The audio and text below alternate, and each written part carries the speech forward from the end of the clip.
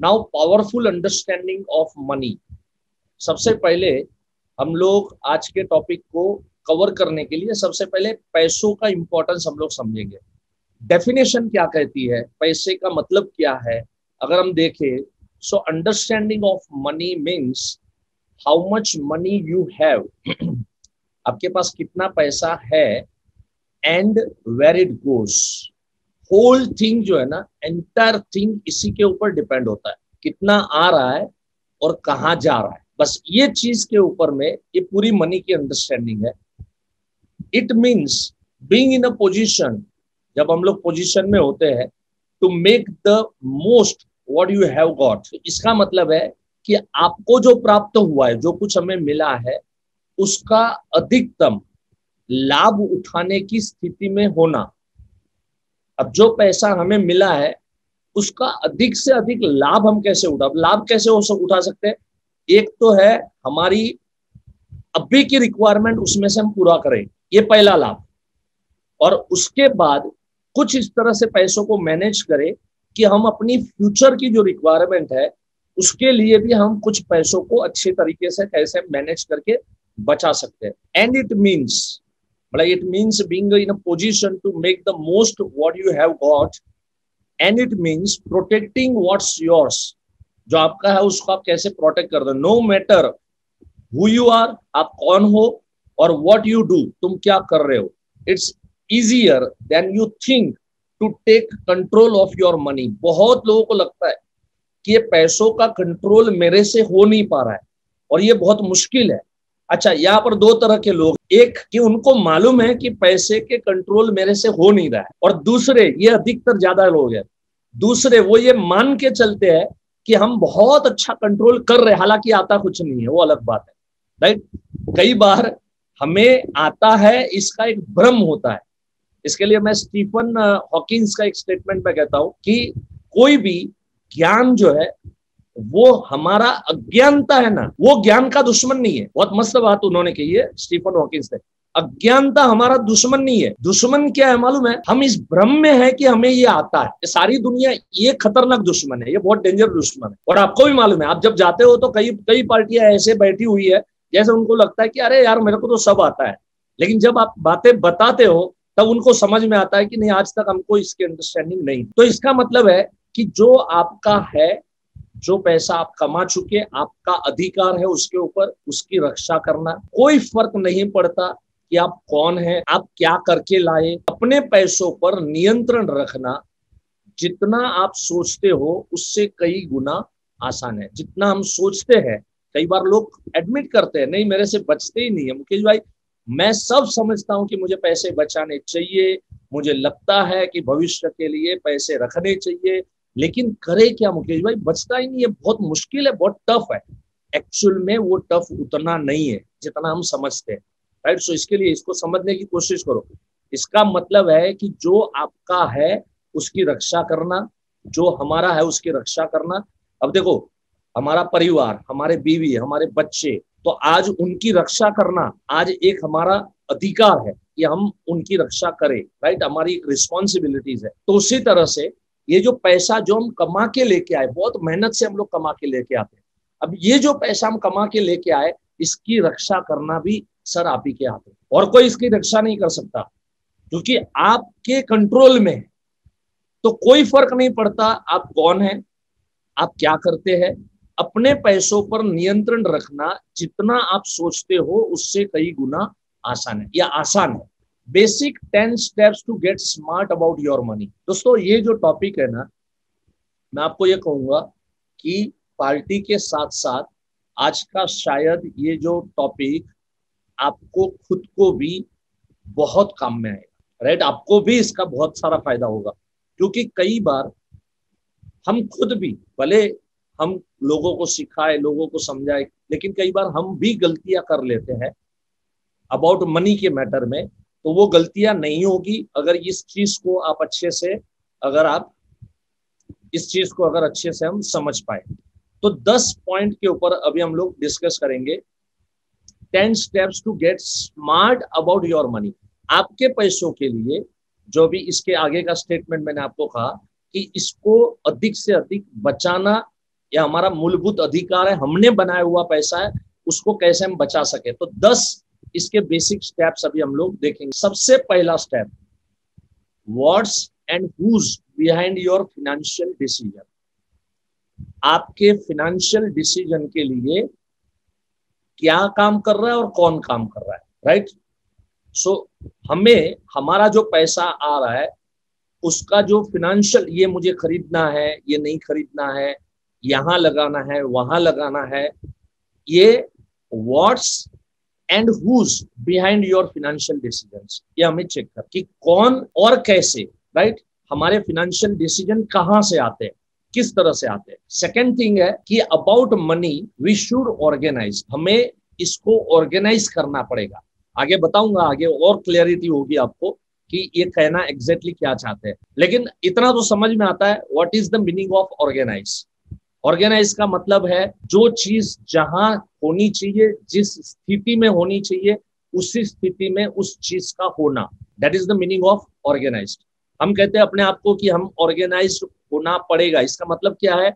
You are getting eight hours working time आठ घंटे का वर्किंग टाइम है। या आठ घंटे के वर्किंग टाइम में कौन से समय पे कौन सा काम कितना करना और कितने काम के लिए कितना समय देना? ये ज़िंदगी भर तक सीखते जाना पड़ेगा अपने को। तो उसी तरह से get organise about the money also जैसे हम समय का सदुपयोग करते हैं, वैसे मनी का भी अच्छी तरह से, तरीके से उसको ऑर्गेनाइज करके हम उसका सदुपयोग कर सकते हैं। तीसरी चीज़ है know where your money goes तुम्हारा पैसा जा कहाँ रहा है, इसका वॉच रखना बहुत ज़रूरी कई बार अनकॉन्शियसली खर्चे हो जाते हैं अनकॉन्शियसली हमें पता तक नहीं होता है। और खर्चे हो जाने के बाद में एहसास होता है, अरे यार, चुना लग गया वो गलत हो गया, ये गलत डिसीज़न लिया, वो गलत डिसीज़न लिया। कुछ लोग को पैसे दिए और उसके बाद में वो पैसे लौट के ही नहीं आए। जब भी लेने को आते हैं, तभी हमको लगता है, अरे यार, नहीं नहीं, ये तो अभी जैसे आएगा, तुरंत सबसे पहले पैसे मेरे को लौट आएगा राइट लेकिन जब पैसे फंस जाते हैं, तब पता चलता है। So know where your money वो बहुत सोच समझ के। मेरे एक कजिन भाई है, उसको घर लेना था। तो उसका कॉल आया, अरे बड़े भाई, आप मेरे को एक बीस लाख की मदद कर सकते हैं क्या? अब उसको मालूम है मेरा standard of living and everything right कि उसको सूरत में मकान लेना था। मैंने उसको बोला कि तू पहले बता तेरा क्या क्या सिचुएशन अब मैंने देखा उसने कहीं भी लोन नहीं लिया। मैंने कहा, ये बीस लाख रुपए जो तू मेरे से मांग रहा है राइट एज अ लोन मांग रहा है? बोले, नहीं, मैं आपको फिर जैसे ही हो जाएगा, मैं आपको दे दूँगा। मैंने कहा, एक काम करो, तुम्हें मैं एक अच्छा बंदा देता हूँ और वो तुम्हें लोन पे पैसा देगा। राइट मेरे पास नहीं है। मेरे पास निकालने पड़ेंगे। अभी वो बीस लाख रुपए इस तरह से तो बैंक में तो रख, रखते नहीं हम लोग। लेकिन मैं तुम्हें एक अच्छा बंदा दूँगा और एकदम जेन्यून इंटरेस्ट तुमसे लेगा और कोई उसका क्योंकि इनकम का थोड़ा आगे पीछे था तो बैंक से लोन अवेलेबल नहीं हो रही थी। मैंने कहा कोई बात नहीं है। मैं बारह परसेंट पे तुमको पैसे दिलाता हूँ। दोबारा उसका फ़ोन कभी नहीं आया। जेन्यून होता तो कॉल करता। लेकिन क्या है ना बगैर इंटरेस्ट का पैसा अगर कहीं से मिल रहा है चलो ले लो। और उस समय पे अपने को सावचेती अपने को रखनी कि चलो ठीक है यार, एक इमोशन होता है, अपना कजिन है तो एक इमोशन होता है, एक भाव होते हैं, एक प्यार होता है, एक रिलेशन होता है। लेकिन जो पैसे अपने पास है, बहुत मेहनत से आते हैं। और इस चीज़ का एहसास अपने को होना बहुत ज़रूरी है। सो बहुत ही सोच समझ के अपने को ये फैसले अपने को लेने होते हैं। और फिर बाद में फिर हम रोते रहेंगे मेरे पैसे इधर डूब गए ये हो गया वो हो गया। So know where your money goes तुम्हारा पैसा कहाँ कहाँ पे जा रहा है। Fourth thing and that is shop smarter जो भी शॉपिंग कर रहे हो ना तो उसमें स्मार्टनेस थोड़ी लाओ। जब भी, कोई शॉपिंग हो रही है तो उस समय पे अगर कोई एक प्रोडक्ट है जस्ट एक सिंपल एग्जांपल दू। मैंने अभी मेरे बेडरूम में दस साल हो गए तो जो भी टीवी था, बड़ी साइज़ का था सोनी का टीवी था, लेकिन अभी स्मार्ट टीवी आए हैं तो उसमें यूट्यूब में चला नहीं सकता था। उसके अंदर में जो ओ टी टी जो अभी आजकल प्लेटफॉर्म्स पे बहुत सारी चीज़ें मिलती है, अनेकों और भी चीज़ है स्मार्ट टीवी के अंदर में। तो बेटा भी पीछे पड़ा था, पापा स्मार्ट टीवी ले लेते स्मार्ट टीवी ले लेते। तो शोरूम में गए हम लोग कोई नूर के शोरूम में गया, वहाँ पर मैंने टीवी देखा। क्या बच्चा है ना, बच्चे थोड़े क्या होते हैं एक्साइटेड होते हैं ना ये सब चीज़ों के अंदर में। उसने एक लाख पचहत्तर हज़ार का टीवी उसने फाइनल किया। मैंने देखा साइज़ में भी बड़ा है और उसके सामने एक लाख पंद्रह हज़ार का टीवी साइज़ मुझे भी ऐसे बेडरूम के हिसाब से मुझे लगा कि नहीं, वो जो साइज़ है, वो बेडरूम साइज़ से बहुत बड़ा है। तो मुझे लगा कि ये ठीक नहीं है। बहुत पीछे पड़ा। अब see it is not a question कि अभी पौने दो लाख है और एक लाख पंद्रह हज़ार है। लेकिन yes there is a question मैं सोच रहा हूँ कि यार, मुझे ज़रूरत नहीं है इस चीज़ की, महसूस कर रहा हूँ कि इतने बड़े साइज़ के टीवी की ज़रूरत है। नो एक लाख पंद्रह हज़ार का भी बहुत बड़ा है। अभी इन चीज़ तो पता नहीं है बट काफ़ी बड़ा है। तो वहाँ पर मैं ये सोच रहा हूँ कि जो भी साठ हज़ार रुपए, पचपन साठ हज़ार रुपए जो भी बचा है वो that is a smart set smart जब भी कोई सेलिंग हो रही है जब भी कुछ कुछ आप परचेस करने के लिए जा, आप जाते हो तो उस समय पे ये थोड़ा ध्यान अपने को रखना है क्योंकि हमारी मेहनत के पैसे राइट और मेहनत के पैसे कहीं पर भी फिजूल नहीं जाने चाहिए। मैं कंजूसी नहीं करता कंजूसी करता तो वही पुराना टीवी चलाते जाना चाहिए वो भी चल रहा था बहुत अच्छा चल रहा था। सो शॉप स्मार्टर होना पड़ेगा अपने को ताकि पैसे कहाँ पर हम लोग बचा सकते हैं और कहाँ पर हम लोग रख सकते हैं। Fifth thing that is review and reduce your depth जो आपका डेप्थ है, उसको रिव्यू करो और उसको रिड्यूस करो। रिव्यू मतलब अगर उसको कहीं और कम परसेंटेज के अंदर में अगर प्रोसेस हो के आजकल तो बैंक इस तरह से हम लोग बदल सकते हैं तो वहाँ करके अगर परसेंट दो परसेंट का फ़र्क पड़ जाता है, लेकिन चेक करना सब चार्जेस वगैरह। और या तो फिर उसको रिड्यूस कर सकते हो, आपकी इनकम बढ़ा के आप उसको अगर रिड्यूस कर सकते हो उस डेप को। तो वो चीज़ हमने जल्द से जल्द हमने करनी चाहिए।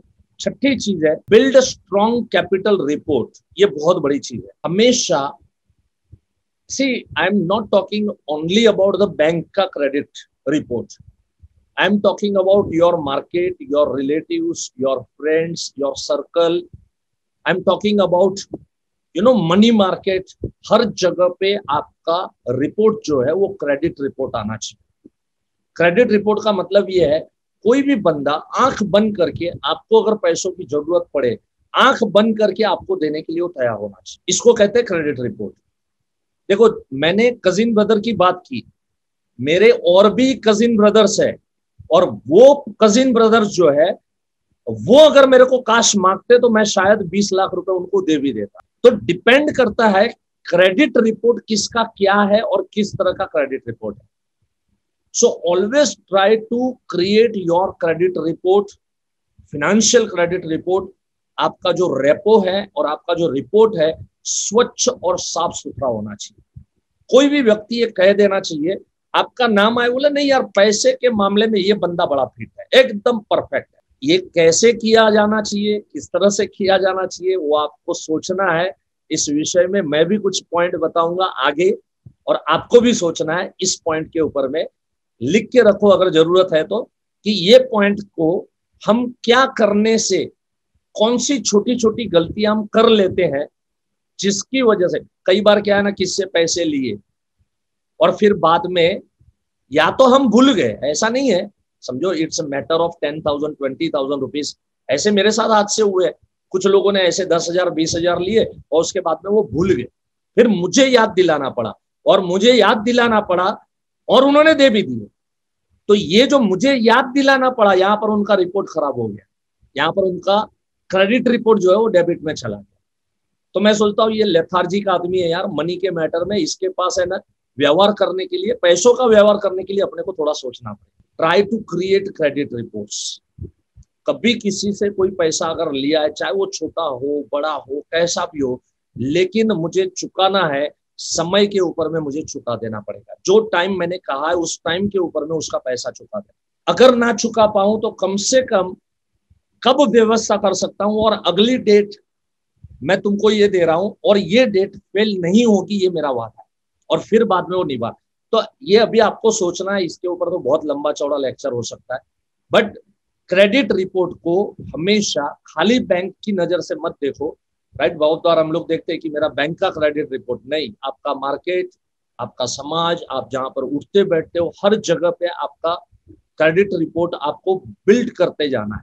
ये बहुत बड़ी ताकत है, बहुत बड़ी ताकत सातवीं चीज़ है save your future save for your future आपके भविष्य के लिए हमें पैसा बचाना चाहिए राइट सो इसमें मुझे ज़्यादा बताने की ज़रूरत नहीं, क्योंकि यही तो काम हम लोग कर रहे हैं। आठवीं चीज़ है। So these are the ten basic steps to get smart about your money आपके पैसे के लिए आप कैसे स्मार्ट बन सकते हैं। आप शेयर कर सकते हैं। ये चीज़ें ना देखो, पार्टी के साथ में शेयर करोगे ना, पार्टी को भी अच्छा लगेगा। उसको लगेगा, देख, ये खाली पॉलिसी बेचने के लिए नहीं आता, लेकिन पैसों की सही अंडरस्टैंडिंग मेरे को समझाने के लिए यहाँ पर आता है। सेट फ्यूचर फिनेंशियल गोल्स आपके भविष्य के जो फ्यूचर गोल्स है राइट सो वो चीज़ के भी गोल गोल क्लियर होने चाहिए। ऊपर वाला पॉइंट और नीचे वाले पॉइंट में फ़र्क है। ऊपर क्या लिखा है? Save your future save for your future भविष्य के लिए मुझे पैसे बचाना है। आठवें पॉइंट में सेट फ्यूचर फिनेंशियल गोल्स मुझे कितने बचाने पड़ेंगे? एक गोल सेट होना चाहिए। राइट जैसे हम लोग देखते हैं, बहुत सारे कोर्सेस में आप ये चीज़ सीखे हुए और नौवा पॉइंट है स्पेंडिंग प्लान होना चाहिए। Spending plan should not overwhelm your goals आपके जो खर्च जो है है ना, खर्च लक्ष्य पे हावी ना हो जाए, ये ध्यान रखना पड़ेगा बहुत बार क्या होता है मालूम है? फ्यूचर गोल मालूम है मुझे। फिनेंशियल गोल भी सेट करके रखा है। लेकिन जो प्रेजेंट लाइफस्टाइल है, ये प्रेजेंट लाइफस्टाइल इतनी लोग बढ़ाते जाते, इतनी बढ़ाते जाते बढ़ाते जाते कि कब वो ओवरवेलम हो जाता है, अपने गोल को ओवरवेलम कर देते हैं। अपने गोल के ऊपर हावी हो जाते हैं खर्चे, और फिर बचना मुश्किल हो जाता है राइट सो ये नहीं होना चाहिए। So spending plan should not overwhelm your goals तुम्हारा खर्च का जो प्लानिंग है, वो तुम्हारे लक्ष्य के ऊपर हावी न हो जाए या हो पाए, ये अपने को प्रिकॉशंस हमेशा रखना है लाइफ टाइम देखो, मैं तो ये मानता हूँ, वो पॉलिसी तो लेना चाहिए, लेकिन भविष्य में कभी भी वो पॉलिसी बंद भी नहीं करना चाहिए जब लेते समय अगर ये पॉइंट हमने उसके साथ में डिस्कस किया है तो तो वो बार बार उसको वो पॉइंट याद दिलाते जाओगे आप। सर, वो नाइन्थ पॉइंट मैंने बताया था, मालूम है आपको, सर? जरा वो निकालो जरा, मैंने मोबाइल में आपको वो शीट भेजी थी, वो दस पॉइंट की। नौवा पॉइंट उसमें क्या था, सर? अब आप बोल रहे हो कि मेरे पास प्रीमियम भरने के लिए पैसे नहीं है। इसका मतलब क्या है? योर स्पेंडिंग प्लान जो है, वो ओवरवेलम होने लगे तुम्हारे फ्यूचर गोल्स के ऊपर। सोचो, सर, इसके ऊपर। हो सकता है वो अवेयर हो जाए उस चीज़ लास्ट है invest money in a discipline manner for long term financial needs मन मर्ज़ी से बचाऊँगा, वैसे नहीं। कैसे बचाना पड़ेगा? Invest your money in a discipline manner for long term financial needs तुम्हारे भविष्य की नीड को फुलफिल करने के लिए उसको डिसिप्लिन मैनर में मतलब एक फिक्स अमाउंट होना चाहिए रेगुलर होना चाहिए राइट और विदाउट एनी ब्रेक होना चाहिए। तो ये दस चीज़ें हैं। This are the ten basic steps to get smart about your money तुम्हारे पैसे के लिए तुम स्मार्ट कैसे हो सकते हो, इस विषय के ऊपर में मैंने अभी आपके साथ में डिस्कस किया राइट